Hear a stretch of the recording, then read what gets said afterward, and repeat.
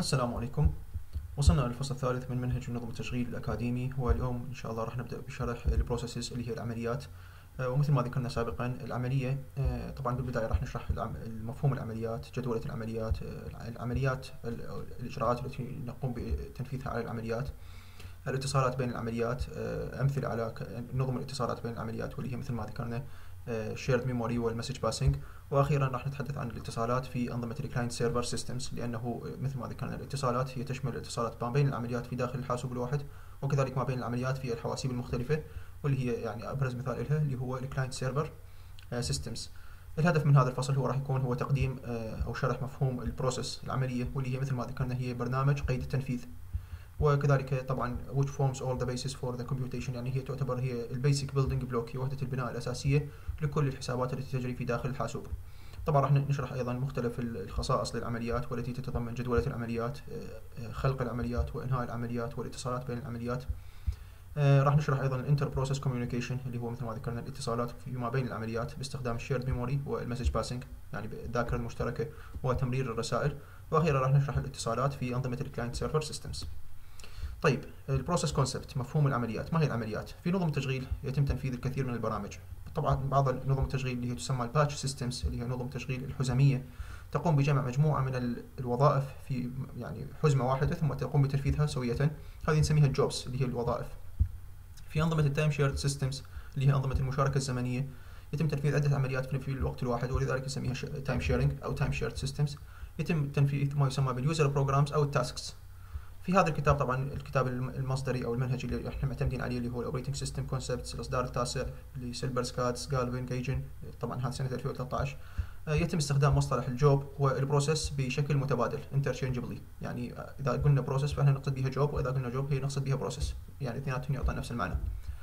ال process مثل ما ذكرنا هي برنامج قيد التنفيذ وتنفيذ العملية طبعا يجب أن يتم ب sequential fashion بطريقة متسلسلة مثل ما ذكرنا قبل عدة أيام يعني شر- شرحنا في منشور على الفيسبوك بأنه كل الخوارزميات يجب أن تتكون من مجموعة من الخطوات ليست يعني فاعترضوا بعض الأخوة قالوا بأنه قد يكون تنفيذ الخوارزمية بشكل غير متسلسل إلا أنه بالحقيقة يعني مهما كانت تعقيد البرنامج مهما كانت تعقيد العملية فإنها يجب أن تنفذ بخطوات متسلسلة مثل ما هو واضح هنا بالتعريف.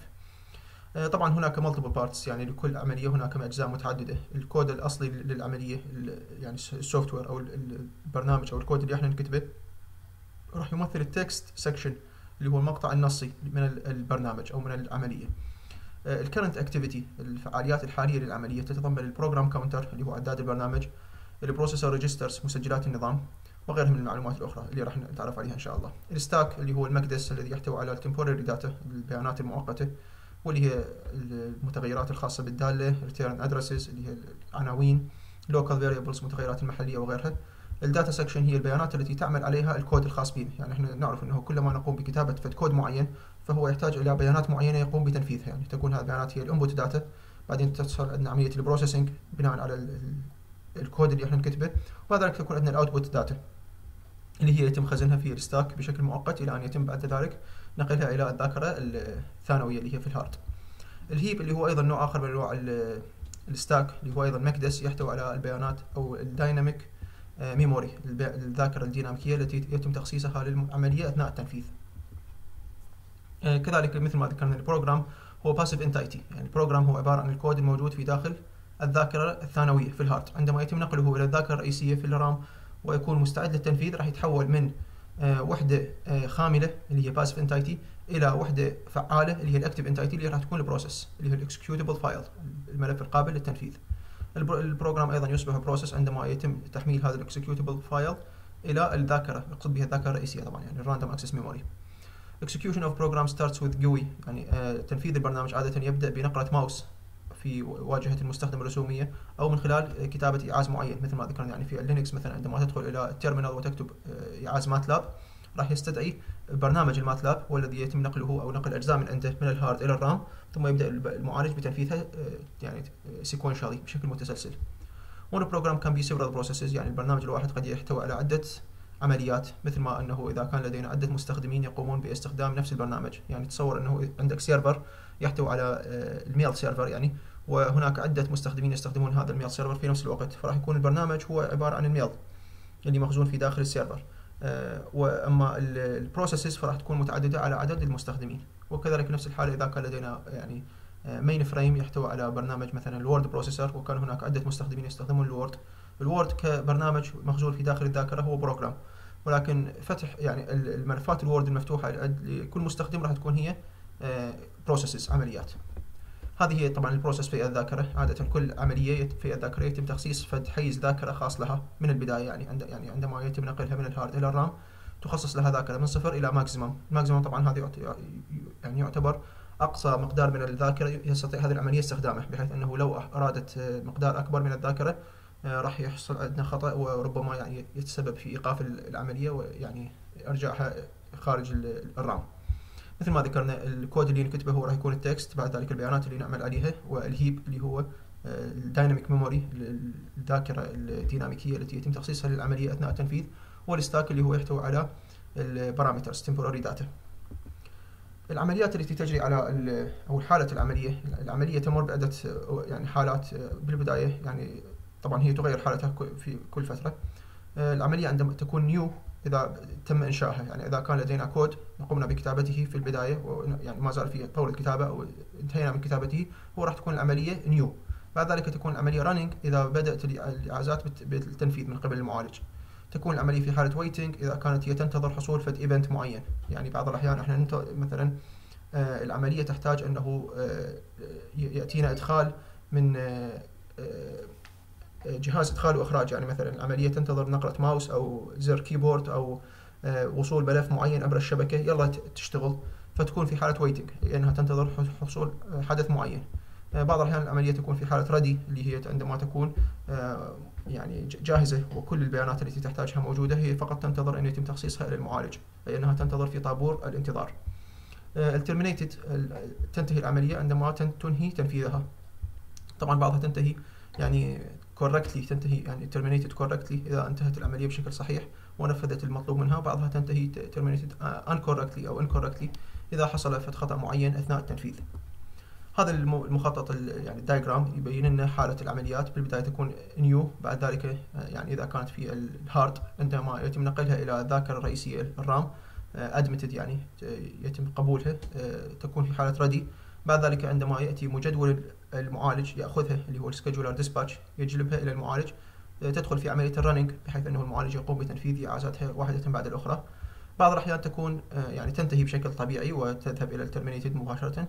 بعض الأحيان تتم عملية ال interrupt يتم مقاطعة هذه العملية من قبل عملية أخرى أكثر أهمية أو أكثر urgent آه، يعني.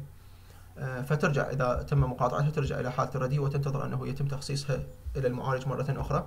أو بعض الأحيان تكون في انتظار آه، حدث معين أو آه، جهاز إدخال وإخراج تنتظر مثل ما ذكرنا يعني نقرة ماوس أو نقرة keyboard أو وصول ملف من الشبكة أو غيرها من الأمور الأخرى فهي تكون في حالة waiting بعد ما يصل الملف المطلوب من ال input output أو تحصل ال event completion يعني الحدث الذي كانت في انتظاره يحصل ترجع مباشرة إلى حالة ال ready وأيضا تنتظر أن يتم تخصيصها مرة أخرى إلى المعالج.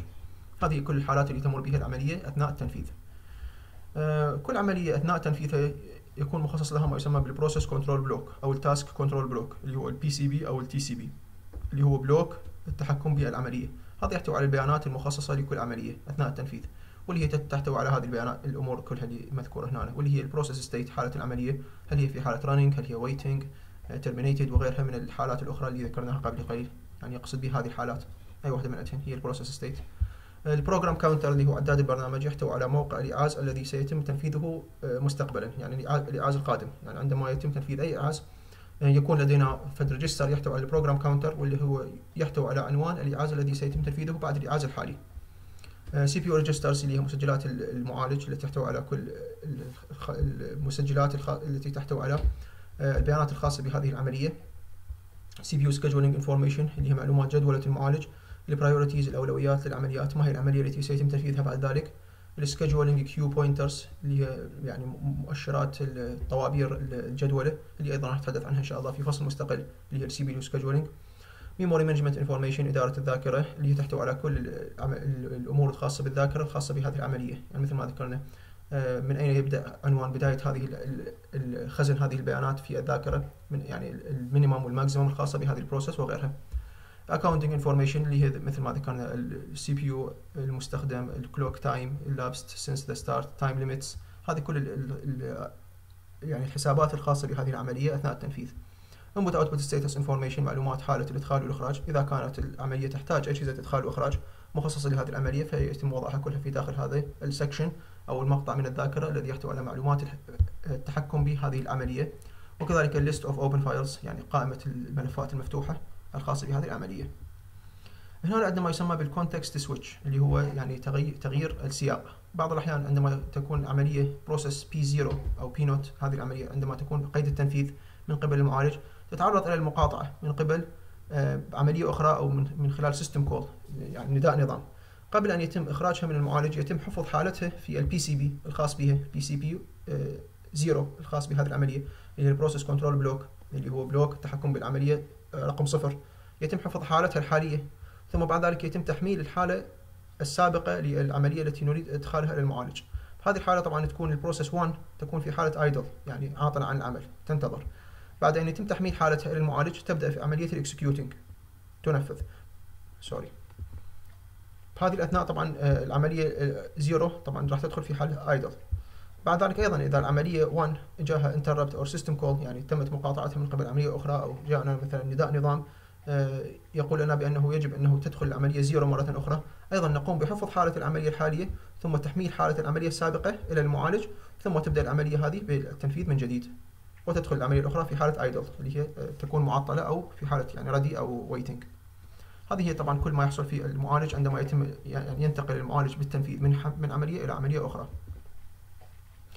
ال threads اللي هي آه، الخيوط أو أسنان المشط هي عادة يعني كل عملية آه، مبدئيا إحنا عندما نتحدث عن عملية معينة آه، نقصد بها إنه هناك برنامج واحد يتم تنفيذه من قبل المعالج بشكل متسلسل اللي هي يسموها single thread of execution اللي هو خيط واحد أو سن واحد من التنفيذ. بعض البرامج أو أغلب البرامج في الحقيقة يعني في نظم التشغيل الحديثة تحتوي على multiple program counters per process يعني عدة عدادات البرنامج بحيث إنه هناك في العملية الواحدة عدة برامج فرعية في داخل العملية الرئيسية. يعني اعتبرها إنه عندك برنامج رئيسي وأكو functions أو classes خاصة بهذا البرنامج تابعة له تعمل كلها سوية بحيث إنه يكون لكل واحد من الاثنين program counter وراح عندنا يصير عندنا multiple locations can execute at once يعني عدة مواقع في الذاكره يتم تنفيذها في نفس الوقت.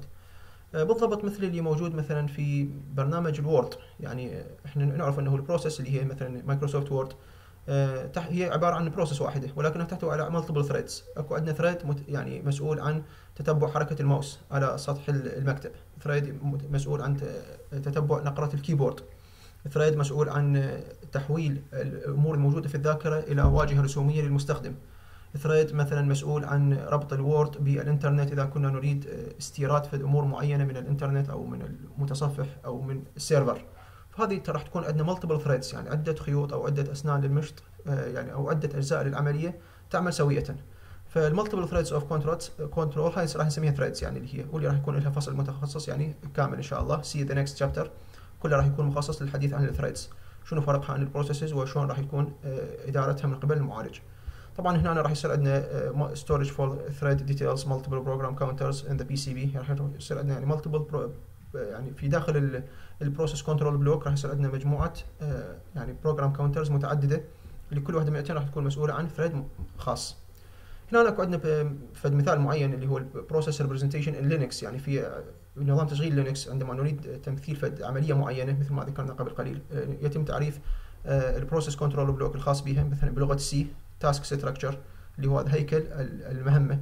هذا فد يعني يعني عملية معينة عندما يتم إنشاء أي عملية في داخل المعالج يتم اعطائها المتغيرات التالية. ال PID ال process ID اللي هو ال process identification يعني اسم العملية يعطى لها فد اسم أو رقم معين.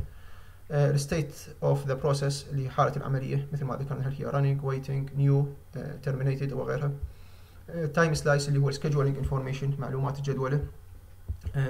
the struct task struct parent اللي هو ال parent process لهذه العملية اللي هو العملية الاب اللي هي مثلا إذا كنا في هذه العملية الحالية العملية اللي قبلها راح تكون هي العملية التي يعني قادت إليها تسمى ال parent process اللي هي العملية الأب.